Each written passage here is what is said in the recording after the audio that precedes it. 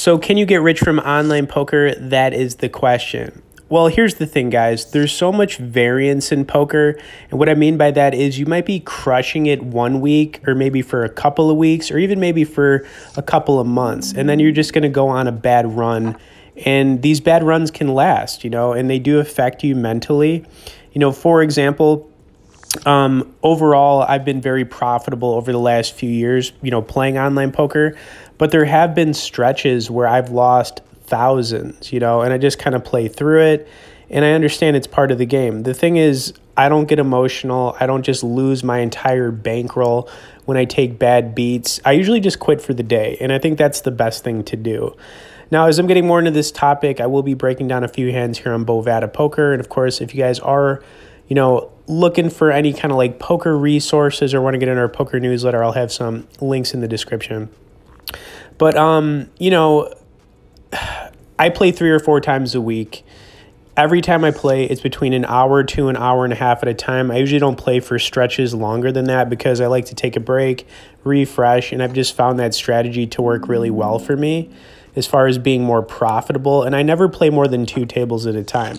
And I always say that if you're playing, you know, the right stakes, then you can make a decent amount of money. Uh, you know, unless you're playing really small games, which I don't recommend. I really recommend starting at the $200 games. If you want to do 100, that's fine too, but I think 200 is probably the sweet spot. Two tabling at a time, you can make a decent amount of money, you know, over the course of a month. I found you can make anywhere from like two to five thousand dollars playing these stakes um, without you know playing a ton. Now, this first hand we got extremely lucky on. I'm not going to deny that fact. So I uh, I was just trying to put pressure on that guy. Just got really lucky, and I didn't put him on a big hand. I thought I could get him off it, to be honest with you. Now, keep in mind, I'd been sitting at this table for a while. Me and that guy were kind of going back and forth, you know. So I was just, you know, going with my gut there, and he got unlucky. And that's one of those things, man. It just happens, you know. And for that guy, he left the table and you could see that he's probably just going to take a break, you know, for the rest of the day or just quit. And that's what you got to do. You know, you, you if you cannot handle the variance of poker, how do you expect to make a decent amount of money from it or get rich? You know, I've been playing for 15 years and I haven't gotten rich from online poker, but I play because I love it. You know, I play in the occasional tournaments. Um, you know, I'm thinking about playing in the uh, America's Card Room's got a big one. They do the Venom tournament. I think this year the one coming up is for $5 million, but they do like a $10 million tournament, which is pretty crazy. Uh, America's Card Room is available worldwide too, so you can play it wherever. But, um, you know, I. I will be playing in uh, you know the Venom tournaments for sure going forward. They are really fun. You got to beat a lot of people, but those are the those are the fun tournaments to play in. And you could strike it big, obviously, if you win in that.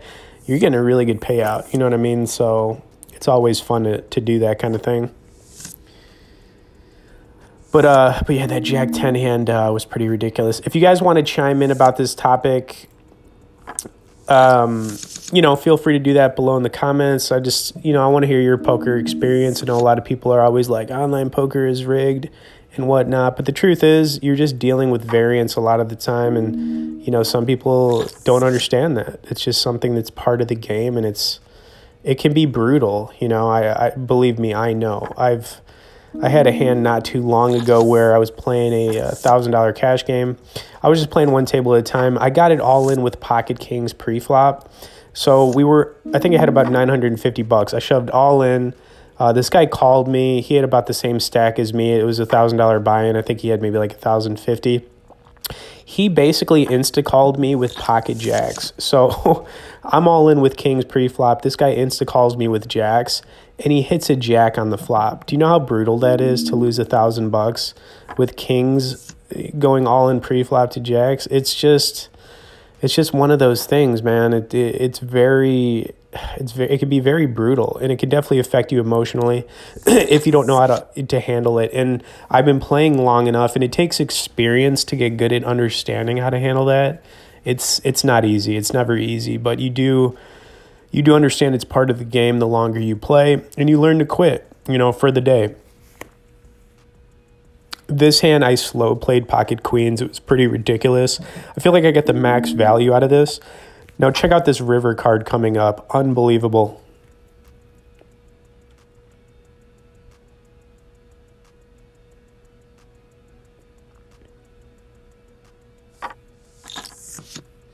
So we hit quads, which was insane. So I didn't really know what to bet on this because I slow played the hand so much. And, uh, you know, I, I think I bet around like 20 bucks. I felt like this is probably the most I was going to get on this hand. This guy was in the small blind to begin with. So, and uh, yeah, so I mean, slow playing pocket queens right there, mixing it up a little bit. I do think slow playing can work in certain spots. Obviously, you don't want to be doing it all the time, but I think if you mix it into your play, it can work out pretty well. Uh, I found that to be the case. You know, I typically will limp in early position with low pocket pairs or mid pocket pairs, you know, especially in these short handed cash games. I could raise, but I found that I get three bet a lot more, so I do limp in quite a bit. I feel like that has been the more profitable play for me personally. But you might have a different experience with it. All right, anyways, we had like a Jack King here. I think I just gave this one up. But, you know, um, hope you guys enjoyed a few more hands. I just wanted to talk about this a little bit. You know, getting rich from online poker might sound like a pipe dream because honestly, not a lot of people are equipped to deal with the variance you're going to, you know, uh, have to go through. Uh, I think your best bet, if you can't, you know, playing in big tournaments is always fun.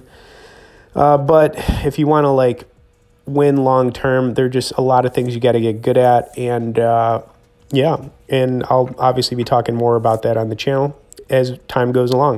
Okay, anyways, hope you guys enjoyed this one. Uh, tap that like, subscribe to the channel for more poker content. We'll see you in the next poker video.